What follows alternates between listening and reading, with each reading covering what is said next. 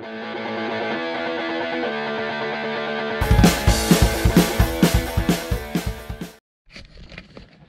guys, welcome back to Last Humans Garage.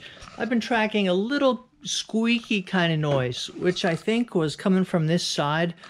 Um, but I was just doing a little resonator swappy swap, a little work, and I found one particular area that basically sounds exactly like it. So instead of trying to, and I, and I know how to fix it, but instead of trying to describe it, let me show you on, let me get you the light first. At least you can see what's going on. Um, then where was it? Where was I doing that? Sort of like that. Again, the iSweep. The iSweep is my nemesis. Like it was, it was sounding so so loud. It almost felt like it was in the inside the car almost. But then it was like a, a real squishy noise, just like this. So I was saying, what would squeak that much? It didn't make sense. Like I was thinking strut top, springs, sway bar even. I I'm and and it only happens on the biggest bumps in the road. When this would bounce a little and all that, and your rear control arms are bouncing around.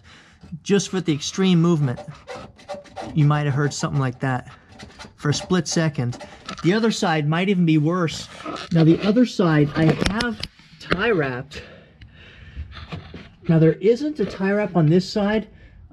I wonder if I forgot to do it.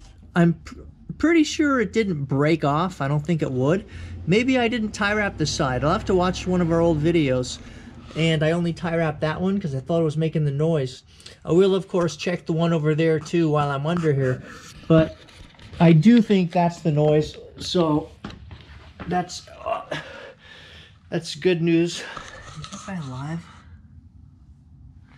I don't think so. Ew. All right, guys. Um, yet again, always, you know, listening for things, weird things in the car.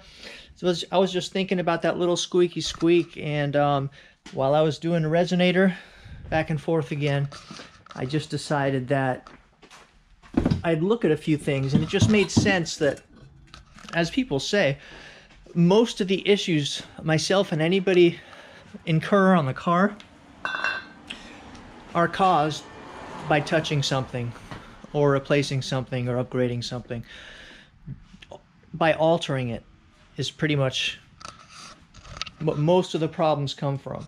If I think back on all the problems I've had, most of them were because I was messing with wires, pins, whatever, you know. All right, guys, that's it. Quiet Friday night. I'm going to enjoy this uh, exhaust change, and I'll see you guys later. All right, you guys, before you even say it, before you even try and be the prof prophet prophecy prophecy of the channel, I think I'm to uninstall that iSweep brace. Um, two reasons. Just the noises I'm dealing with, which are not a huge problem with the product or anything, just a just a occurrence of it. But um, I didn't. I'm not sure if I noticed. If I, you know, I think back, it's hard to remember the first day. I'm not sure if I really noticed any difference. It was very, very slight. Let me say my rear sway bar was a much, much more noticeable, much, much more noticeable than this brace. As it as it should be, of course. But I'm just saying, like this, the rear sway I noticed, it was cool. A big change. I'm still not even sure I like the rear sway behavior after all this time, but it is still on the car. Um, I almost liked it when it was less likely to swing the back out or whatever, but I guess it does turn in better. That's the important part. But yeah, I'm not going to make a video about uninstalling the iSweep. If you watch this little video that didn't seem too exciting, you'll just know this stuff's going on. Um, and yes, I will. I'll sell it. Of course, I'm going to lose money, but hey, I can get a little money toward the next mod, get something I really want. There's also something special coming tomorrow, something small, but something um, kind of cool that I think you guys are going to like. So uh, I'll see you guys tomorrow in the next video.